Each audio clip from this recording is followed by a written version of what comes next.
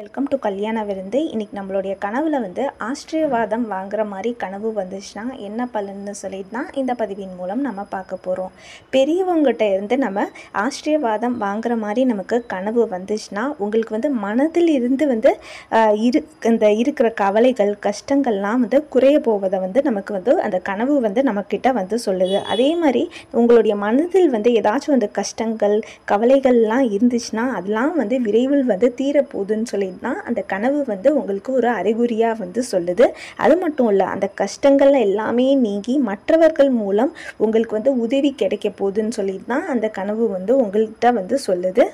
பொதுவாக வந்து இந்த கனவு வந்தாலே வந்து அவங்களுக்கு நன்மை தான் வந்து நடக்க போகுதுன்னு சொல்லிட்டு அறிகுறின்னு கூட வந்து நம்ம சொல்லலாம்.